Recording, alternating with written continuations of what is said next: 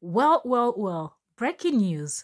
Blessing CEO, aka the fake it till you make it lady. Hmm. This is deep.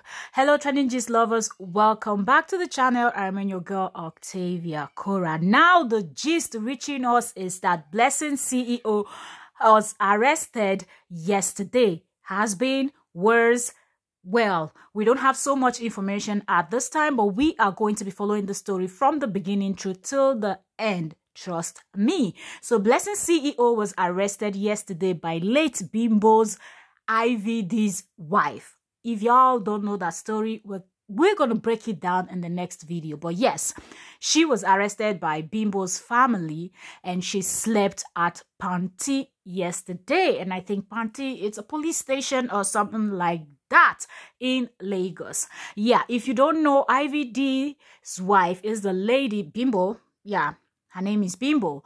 She's a lady that got burnt allegedly that she burnt herself some persons are saying her husband's hand is involved but all of this is alleged we don't know but a lot of people said she burnt herself but it was a domestic violence and all of that it was just a crazy marriage and ended the lady ended up burning to death now y'all remember how how outspoken um blessing ceo was saying that the lady just wanted to kill herself. She did. She's a violent woman. She's blessing said a whole lot of stuff that she shouldn't even be saying at that point knowing fully well that yes the woman might be dead but her family is still grieving. They are still trying to come in terms with what is what was going on as at that time.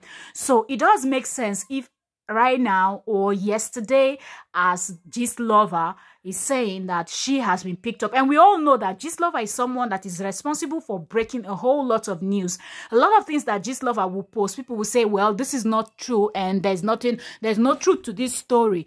But fast forward, later on, everybody will now find out that what Gist Lover said is true. So I believe more information will be released by Gist Lover and other blogs when they get to know about it. But for now, this is what we know about the whole gist. Follow, subscribe, turn on notifications so you get your updates if you are a Blessing CEO lover and you want to know what's up. Don't forget to subscribe.